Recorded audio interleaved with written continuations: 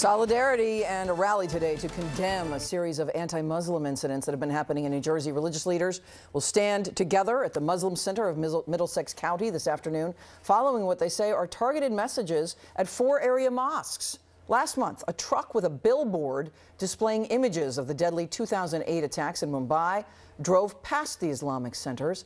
Leaders believe whoever contracted those trucks is blaming all who are of the Muslim faith for those attacks. The FBI and Middlesex County Prosecutor's Office are investigating. So